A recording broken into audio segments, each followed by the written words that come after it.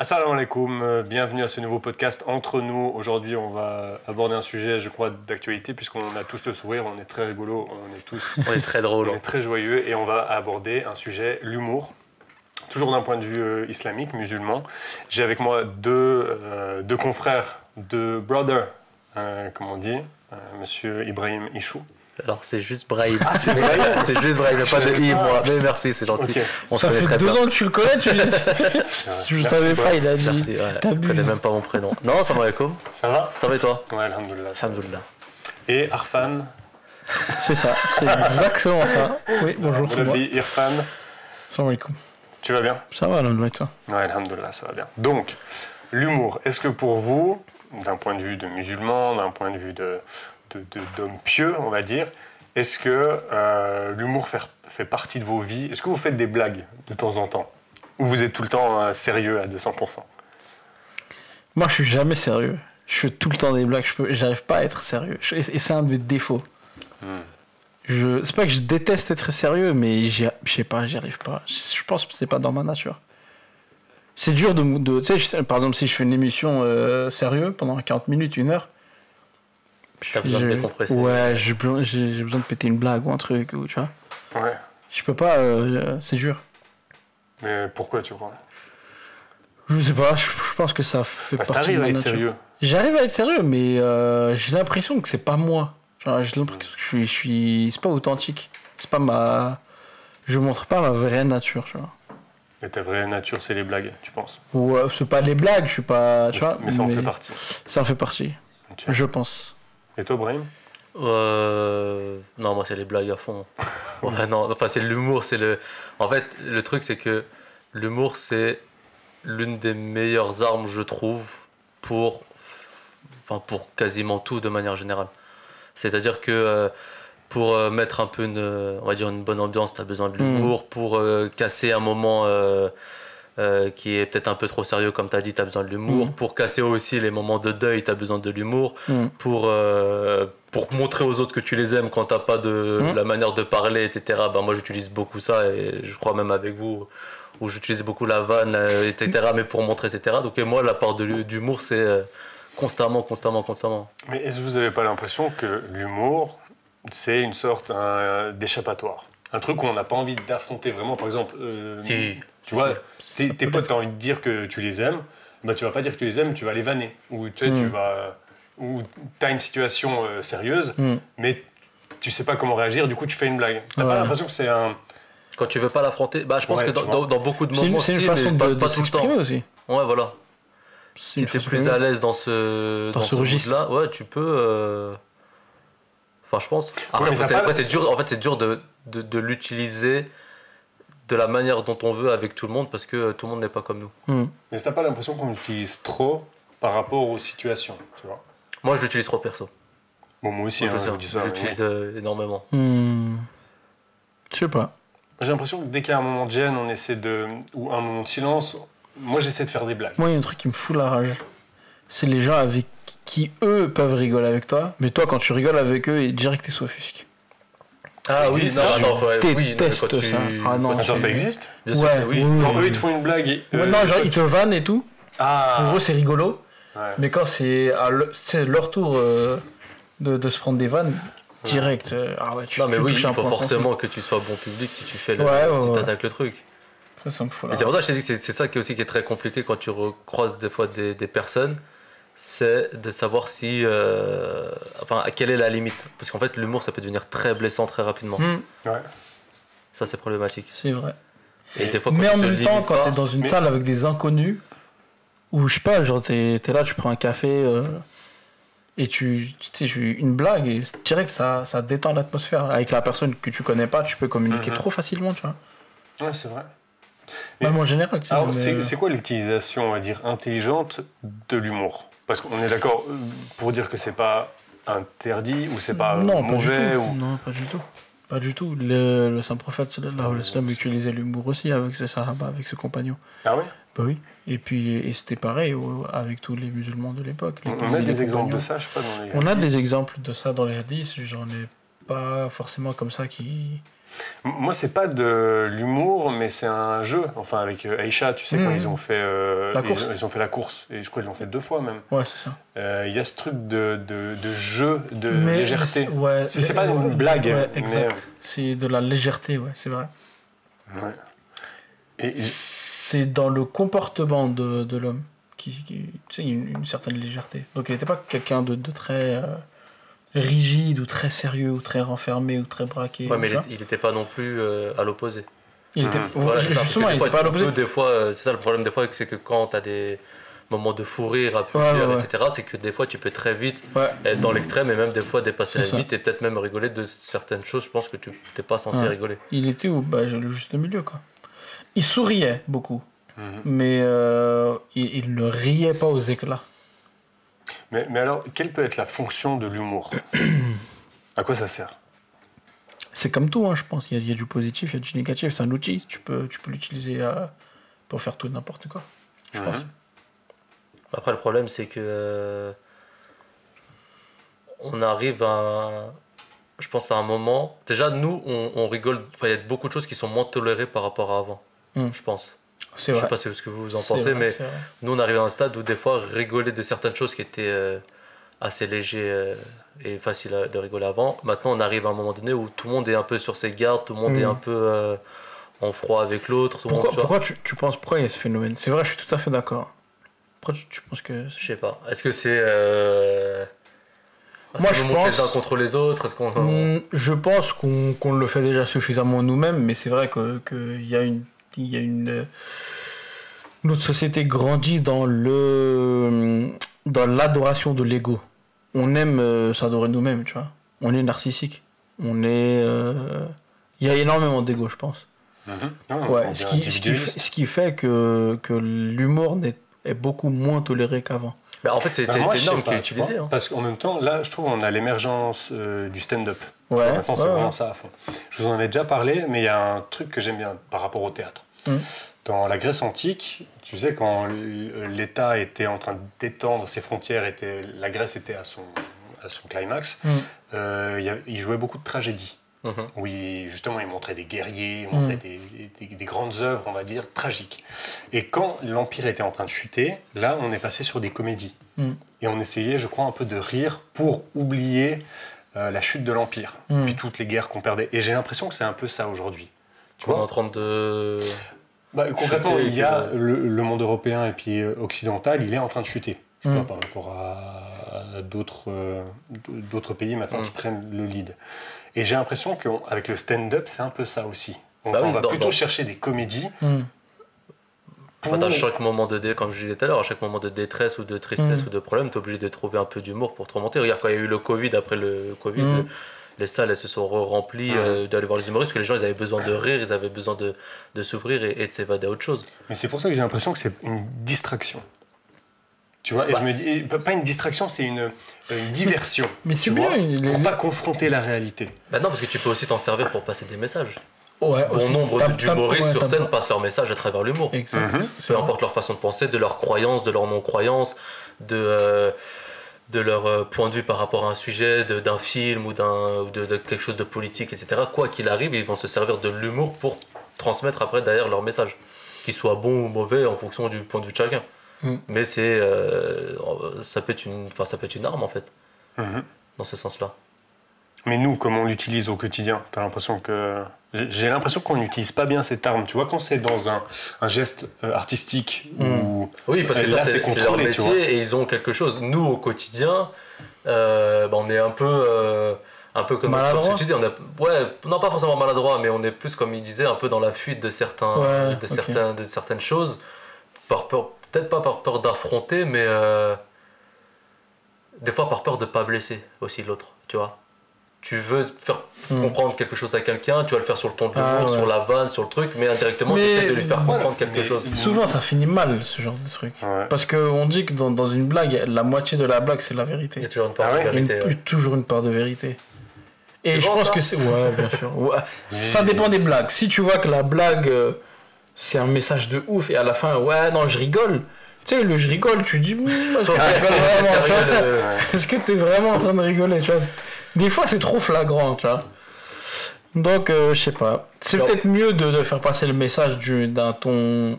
Je sais pas, en fait, ça dépend de, de, de qui t'as en Ouais, ça dépend de la relation Tu peux, avec la ouais, voilà, tu, tu peux dire, écoute, euh, voilà, il y a tel truc, euh, tu sais, tu parles de la, de, de la chose en question d'une façon Moi- light, moi, j'ai- correcte. J'ai l'impression, euh, souvent, euh, ben, on en a déjà parlé, mais on va vanner nos potes très Mm. proches, mais sur des trucs, euh, euh, euh, par exemple quelqu'un qui est gros, on va le vanner sur le fait qu'il est gros. Hmm. Et tu sais, on a l'impression que ça, ça aide à faire passer le message, alors que ça aide pas du tout la personne. Et même, ça, Ah non, ouais, non. pour- même si la personne Je rigole, pourrais pas vous lui faire passer un message parce que le gars il le sait. Oui, Il le sait bien, bah ouais, c'est juste. euh, tu... ouais. Et euh, Je sais pas pourquoi. En fait, je sais même pas pourquoi tout le monde charrie pour charrier en fait. Mais moi, c'est ce que Après, c'est la théorie que j'avais. Tu vois, derrière. pour moi, c'est des hommes qui savent pas se dire qu'ils s'aiment, qui s'apprécient en tant que potes, et qui du coup ils passent par ça. Ils, Mm. ils se charrient, mais en fait, parce qu'ils ils voudraient se dire autre chose, mais ils savent pas comment le faire. C'est ma théorie. Je la pose là. Ouais. Mais après, c'est. Est-ce que c'est forcément mauvais ça? Est-ce que ça peut devenir néfaste oui, à un moment donné? Oui, parce que je trouve que Ouais. du, du coup, Ah ouais en tant que- et même en tant que Quand tu rigoles trop, quand tu, tu fais que des blagues, quand tu surenchéris. Ah non, il y, a il y a un moment donné où. Et, et même, t'assumes pas tes, tes émotions, ce que tu ressens. Pour moi, dire à ses potes que euh, tu les aimes, d'ailleurs, je vous aime, les frères, c'est c'est bien. C'est- Moi, je te le dirais pas. Mais, ouais. Mais je sais, tu, peux me dire, tu peux me critiquer, tu fais, de toute façon, t'es blanc, toi. Ouais. Tu vois Non, mais je vous ai envoyé un bon message il y a pas longtemps. C'est vrai, Ouais, c'est vrai. Voilà. Mais Ça, tu vois, c'est- ça, le- c'est- c'est l'Al- l'Algérien qui parle, il est trop fier pour dire quoi. Ouais, je C'est ça. vous aime bien. Je vous Moi, aime bien. moi, je t'aime, moi. Moi, je t'aime. Ouais. Toi, tu C'est toi, tu me. Non, mais, mais tu vois, je crois que le fait d'assumer aussi ces moments gênants, ces silences et euh, aussi parfois ces émotions, c'est ça qu'il faudrait qu'on on à assume au lieu de passer par des blagues. Je dis Ouais, pas, mais on n'a pas, c'est été- utile. on n'a pas été vraiment élevé comme ça. Il y avait toujours cette. euh, Pudeur. Ouais, il y avait une pudeur déjà dans la famille, euh, même au quotidien, bah après t'évolues comme ça, donc vu qu'on a chacun été élevé de cette manière-là, dans, dans une certaine pudeur, tu vas jamais dire à un de tes potes que, que tu l'aimes, que Ben, c'est moi, j'ai commencé à le faire bah, au moment où je me suis. Non, un peu avant que je me convertisse. Et au début, tu sais, il y a ce truc de wow, qu'est-ce qui se passe Et en fait, plus tu fais, plus à- à- après ça devient normal et c'est hyper bien. Ouais, mais attends, il y a- il y, a deux manières. Parce qu'il y a ce truc-là de, euh, ok, euh, je sais pas, ça m'est déjà arrivé où genre on était plusieurs, on a bien rigolé entre potes, etc. Et tu disais dans un moment, euh, tu dis, ah, je vous aime les frères, tu sais, d'une manière comme ça. Mm. Et t'as aussi le vrai moment où, euh, genre, t'es vraiment avec ton pote, peut-être qu'il t'a aidé dans une vraie galère, où c'était un moment très Mm. dur, où vous êtes vraiment tous les deux. Et là, sincèrement, tu lui dis, frère, frérot, je t'aime de ouf, quoi, de, de ce que tu m'as aidé. Mais pour moi, t'as même pas besoin de ça, des moments spéciaux. Tu vois? Là, c'est pas un moment. Ouais, mais c'est vrai que ça aide aussi à faire ça passer. le aide, truc, tu vois. ça aide. Alors que si t'es là, euh, t'es assis et tout, tu dis, tu sais, tu sais que je t'aime. Le gars va dire, eh, aussi. Ah, je- Non, mais tu vois, je sais pas, je sais pas vous avec vos parents, mais moi, ma mère, je sais que souvent quand on s'appelle, euh, à la fin, je lui dis je t'aime. Mais c'est si- ce qu'il dit. Jamais, moi. Toi, t'es blanc, jamais. c'est normal. Non, non, non, je moi, je te jure. Vous les blancs, vous avez une facilité à dire je t'aime. Nous, il n'y a pas de je t'aime chez nous. Qu'est-ce que tu racontes euh, Mais su- surtout Ouais, que. mais, ouais, mais bizarrement, on le sait très bien. Enfin, chez nous, il n'y a pas de ça et on se dit on le sort pas, mais on sait très bien que nos mères, c'est ce qu'elles attendent. Ah. Indirectement, Ouais, elle- c'est ce qu'elle voudrait. Et si tu lui disais, tu penses elle, elle ferait quoi? Elle sera surprise. Mais l'as déjà dit ou Tu l'as déjà dit? Bon, je devais être petit, mais je veux pas. euh, C'est ouf. Moi, déjà, déjà, je crois que c'était euh, cette année ou l'année dernière, je sais plus. où, euh, on était parti, tu sais, quand c'était la fête des mères ou un truc comme ça Ouais. et tout. Et euh, ma femme a dit, ouais, ce serait bien que tu prennes un truc à ta mère, je sais pas quoi. Et on trouve une. euh, c'est une sorte de mug, tu vois. Ouais. Et moi, j'ai même pas calculé le mug en lui-même, tu vois. J'ai juste vu un mug avec un pot de lavande à côté. Je dis, vas-y, je vais prendre ça, histoire de. Et on, et on le ramène et tout.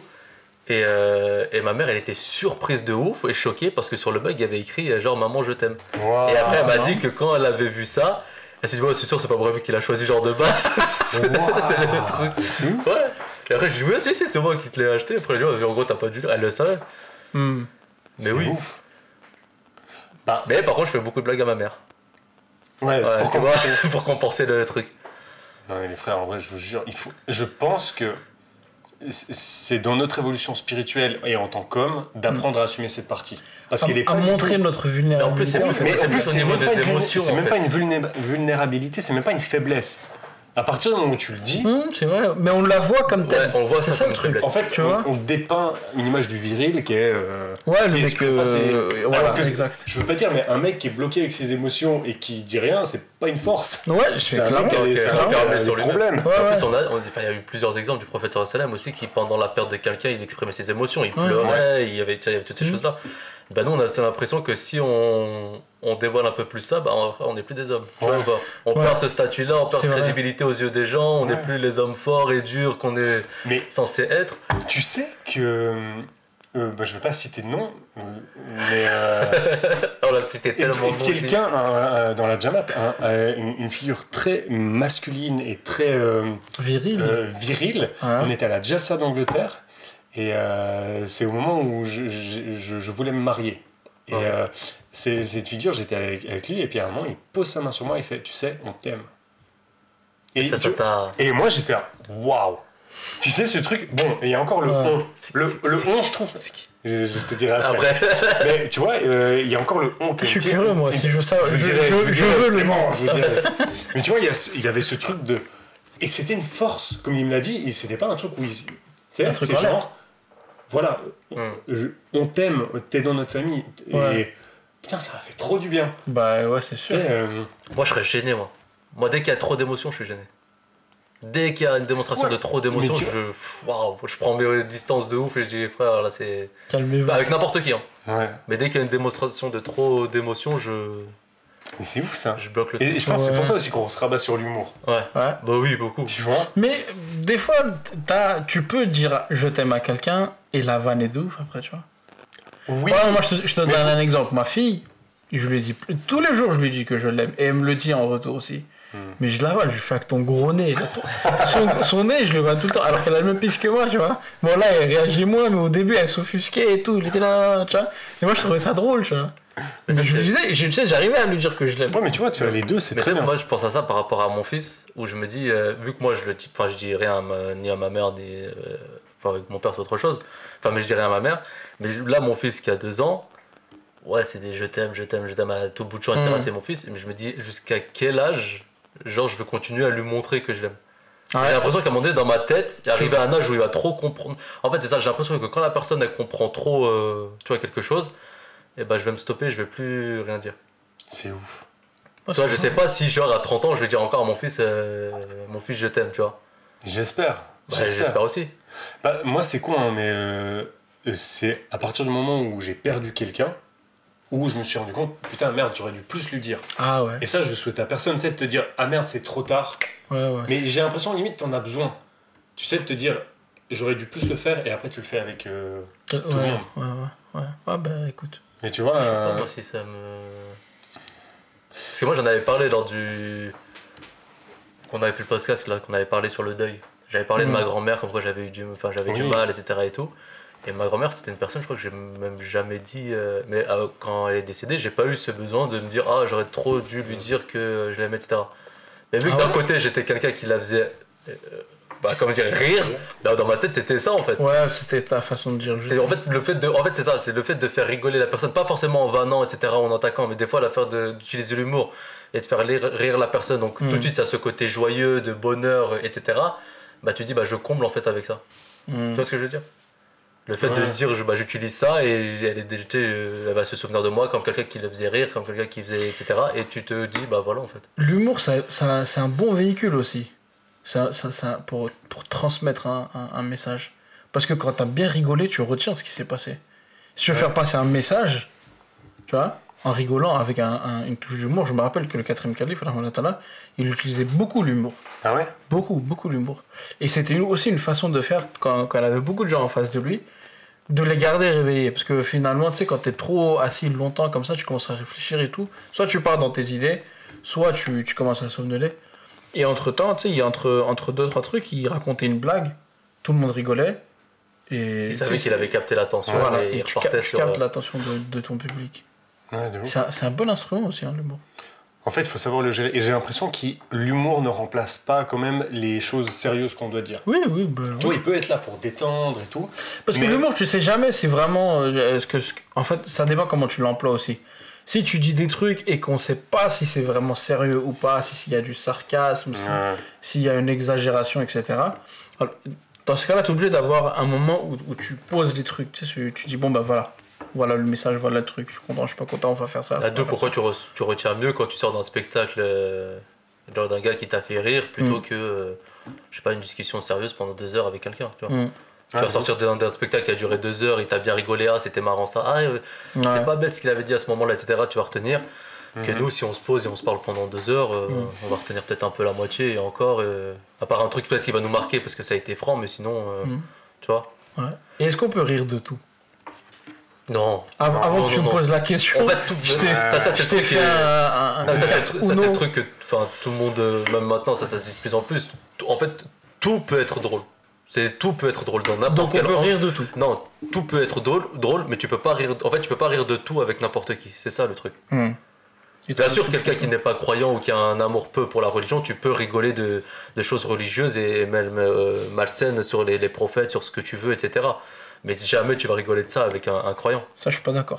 Tu penses Ouais. Si quelqu'un fait une blague sur le prophète sallam ou sur Jésus et tout, tu penses qu'un croyant, il- une blague un peu borderline, Ouais. tu penses que le croyant aussi en face, il peut rigoler Non, non, non, non, moi c'était le contraire. C'est- C'est-à-dire que toi, en tant que croyant, tu peux pas rire de tout. Ah, même c'est si, ça, même si c'est t'as ça. une personne en face de toi C'est qui ça est que je disais. Oui, oui. elle, euh, on s'en fiche, elle, elle est pas croyante. Du coup, euh, c'est- C'est elle, ça n'a pas disais. la même sensibilité que toi. C'est ça, je Toi, te disais, tu entre, euh, entre deux non-croyants, oui. Mais s'il s'il fait cette même blague à un croyant, il, le croyant ne le prendra pas de la même Oui. manière.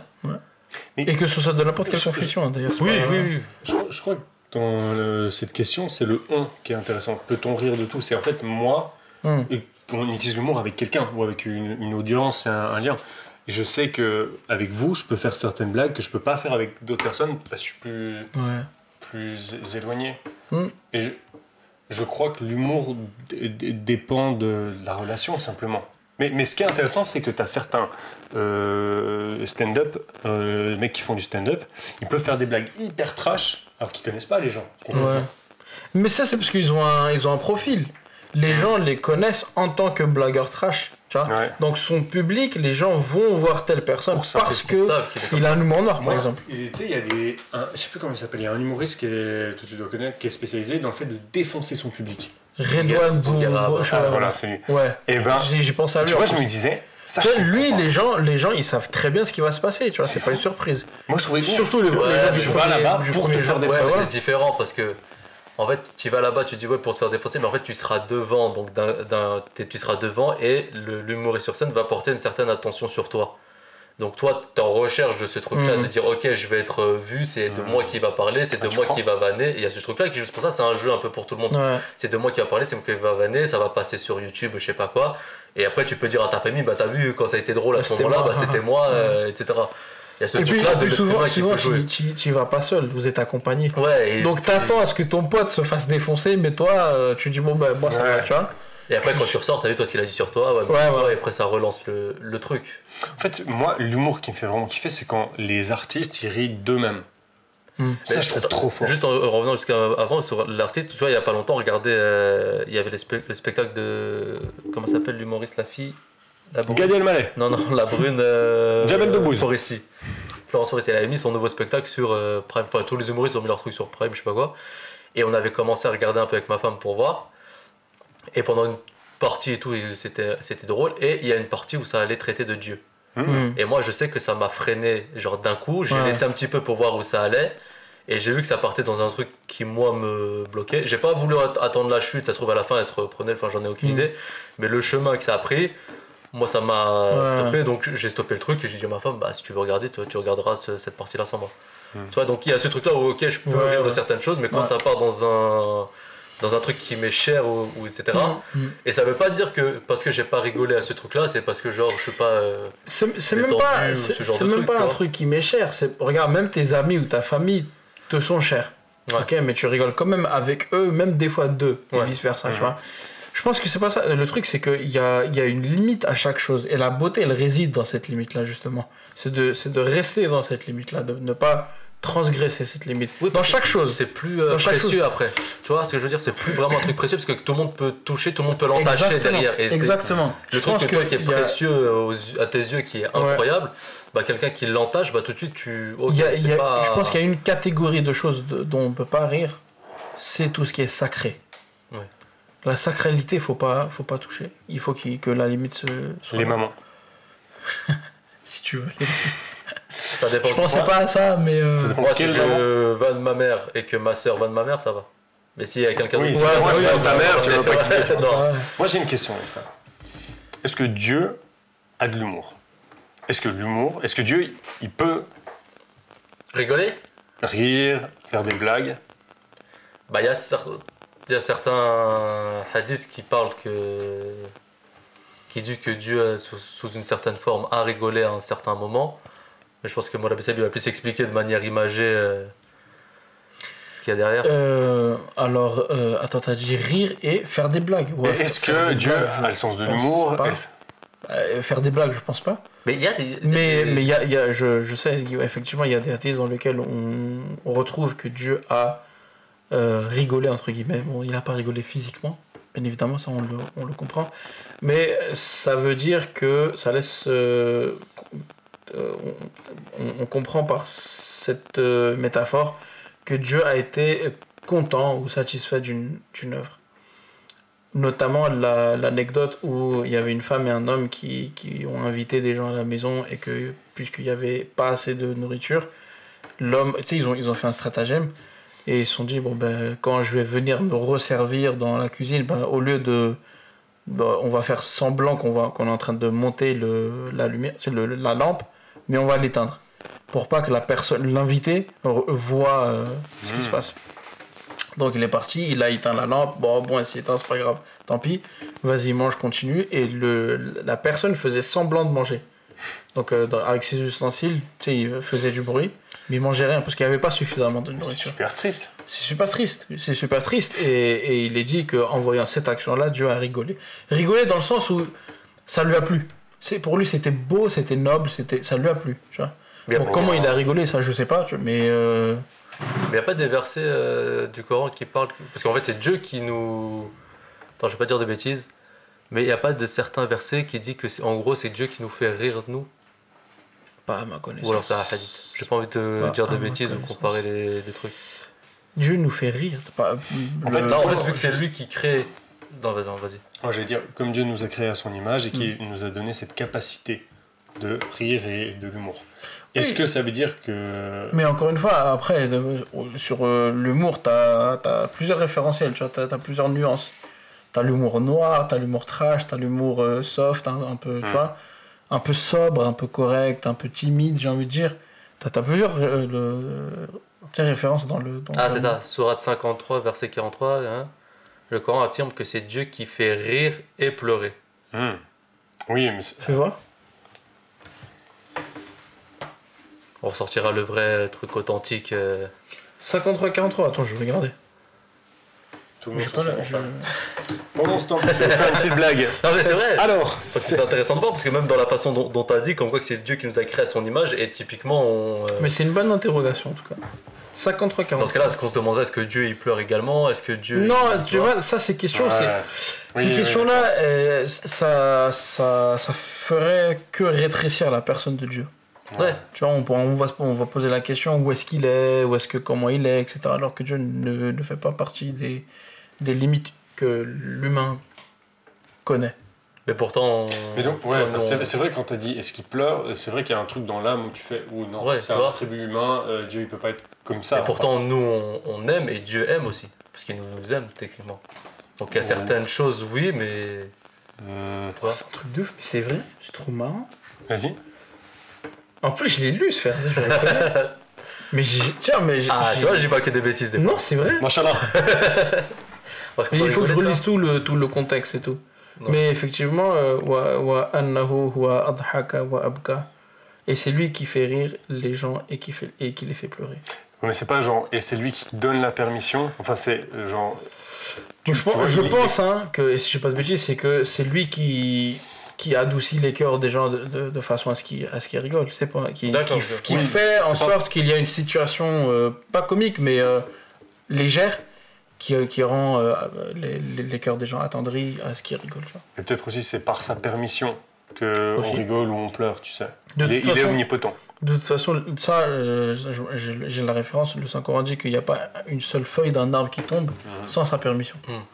Donc forcément, chaque action. Donc, chaque- ça, c'était ouf. Je regardais une feuille d'arbre tomber et j'étais vraiment là, c'est minuscule. Et Ouais. donc, si c'est ça, et alors tu sais, ça arrive. euh, Ouais, Partout sur Terre. Ouais. truc de ouf. Mais est-ce qu'il y avait, il y avait aussi un truc du fait que des fois, euh, de rigoler certes- de certaines choses pouvait faire sortir de l'islam? Je sais pas si vous avez déjà entendu ça. Hmm.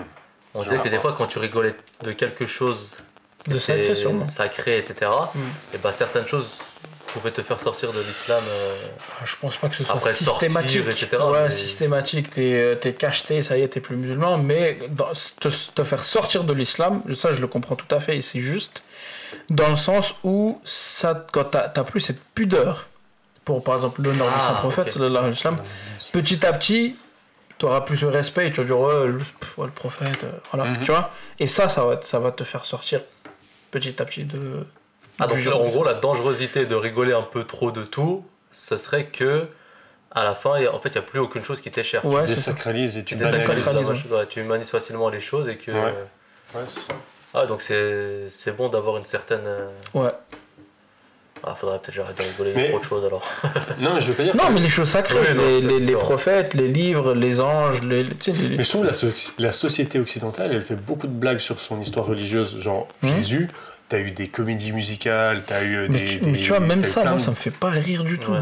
Moi, je, je- Bah, en je fait, suis plus gêné et euh, je, moi, je crois que ça montre surtout la distance qu'a euh, Ouais, l'Europe ouais, vis-à-vis de- vis-à-vis de sa, sa religion. Ouais. C'est-à-dire que c'est plus important puisqu'on peut. Mais en- justement, ils- tu vois, c'est peut-être pour ça qu'ils ont, qu'ils ont complètement, tu sais, euh, ils- désacralisé cette chose-là, qu'ils ont plus cette, euh, Ouais, cette distance. cet honneur pour, le, pour leur religion. Ouais. Pour eux, euh, pff, Alors que nous, j'ai l'impression, on est. Euh, on est un peu dans l'autre extrême. tu vois, ouais, j'allais dire pour vrai. Charlie Hebdo. c'est, exactement Tu vois, je pensais, oui, ce qu'ils ont fait, euh, c'est pas correct. Mm. Et, euh, et, mais on n'aurait pas dû réagir à ce point. Enfin, on, on- je dis on comme si c'était nous. Je suis en train de te regarder. Est-ce que tu es Charlie Tu C'est fais ça partie du truc Non, mais ce que je veux dire, c'est oui, La- Les attaques qu'ils ont eues ouais, Oui, réagir à ce point Oui, oui, pour ça. Et en plus, dites-moi si je me trompe, mais il y avait une once de respect un peu. Genre, je sais pas si vous vous souvenez, mais il me semble sur le dessin, le, le saint prophète, ça va la mais il était comme ça. Au moins, on voyait pas son visage. Pas. Ouais, mais il y avait un autre truc où ils l'ont montré. Ouais, Ah ouais. ouais Non, il y a eu- il y a eu Ah, plein d'autres trucs. j'ai Ouais, il y a eu dit, plein d'autres trucs qui il montrés avec les autres dans des conditions et des Et situations. des, et des euh, trucs, des trucs, franchement, c'est. Même une personne lambda, je- j'aurais pas, tu sais, j'aurais pas accepté. Ouais, mais là, là, ça dépasse Oui, l'humour. C'est pas, c'est c'est la juste- provoque, c'est gratuit, c'est en fait, blessant. en fait, je- en fait, je c'est nul, pour voir si jusqu'à quel point tu peux aller, comme tu as dit, ils ont fait beaucoup de comédies musicales sur Mais- euh, Jésus, qu'ils ont des- enfin, il y a beaucoup de choses qui sont désacralisées, qu'ils ont fait plein de choses à. Je pense qu'en islam, tu peux pas faire ce genre de truc. Je pense qu'ils ont. Bah, trop je vivant pense qu'à un moment donné, il y a certaines personnes qui tentent de faire des choses, voir si on peut titiller là, si on peut rigoler, et ils voient tout de suite la- les gens qui sont contre en fait ce genre de truc. Tu peux pas toucher au. Normalement, tu peux pas toucher à tous les prophètes Ouais, comme bah tu le fais, mais encore plus nous, tu vois, le prophète de l'islam. Donc il y a Mais- certaines choses. euh, Je trouve intéressant parce que ça montre que l'islam, la foi de l'islam est vivante. Et que, Mhm. euh, bah justement, tu peux pas Et puis forcément ce ce ce qu'il que... faut savoir aussi, c'est que quand tu dis la, la foi de l'islam est vivante, effectivement, mais l'islam défend l'honneur de tous les autres prophètes aussi. Il n'y a Bien pas sûr. que le saint prophète. on est, euh, On- nous, on défend le- l'honneur du prophète Jésus. Tu vois? Plus que, je vais pas dire une majorité, mais beaucoup de chrétiens ne le font. il y a des chrétiens qui disent, ouais, non, ça par exemple, euh, sûr, par contre, on rigole oui. pas, c'est pas drôle, euh, stop, tu vois Mais on a beaucoup qui, ah, ah, ok, bon, d'accord. Il y a même des prêtres, tu sais, que, ou des hommes de, de, de l'église, que j'ai vu ou entendu en train de rigoler sur certains sujets où je me disais, mais Mais moi, je vois plein de prêtres sur TikTok. ouais, mais c'est pas drôle. Tu vois, Enfin, mais pas, sur TikTok, ils... c'est pas des blagues, mais Ouais, mais c'est c'est un peu- format humoristique, tu vois. Et les, les blagues, elles sont un peu justes, quoi. Je sais pas. Parce que, tu sais, tu, tu, en fait, c'est tu leur- perçois quand même un manque de respect quelque part c'est- pour la C'est personne. un de- engrenage, c'est-à-dire qu'il va faire une première blague et il va voir c'est comment ça. les gens vont réagir, ils vont voir que tout le monde rigole et dit ok je peux aller un peu plus loin, hop Mhm. je vais aller un peu plus loin, il va continuer. Et si personne lui met une certaine limite à un moment donné en disant bon, là t'as pas été très drôle, vaut mieux que Ouais. pas que tu franchisses ce pas là, bah voilà, mais si tout le monde rigole à tout, ou tout le monde dans les commentaires disent oui, euh, mais si laissez-le, on peut rigoler de tout, etc., lui va se rattacher à ça et bah, ça va faire que empirer par la suite. Après ça va monter, ça va descendre pour lui. Mais C'est ça, ouais. J'ai l'impression, pour résumer, qu'en gros, quand c'est dans le domaine du sacré, euh, il faudrait pas Ouais. faire l'humour parce que c'est trop risqué et même ça peut avoir un impact mauvais sur toi et tu peux blesser les autres. Mm. Quand c'est des choses mondaines, euh, même parfois ça peut aider. C'est un outil pour exprimer ce qu'on C'est quoi, ressent. c'est quoi les humoristes que vous aimez? Moi, je regarde pas trop. Ah ouais Ah, moi, j'en ai Ouais. beaucoup. Moi j'aime bien, je suis friand, moi j'aime bien Ouais. beaucoup l'humour. j'aime pas. Moi, j'ai été très surpris par Farid. Ouais, il est bon. Farid, au, bien. dé- au début, j'étais pas trop. Tu sais, je Ouais. regardais un peu, je disais, ouais, cool. euh, Toi, c'est un peu marrant, Ouais. je rigolais. Ouais.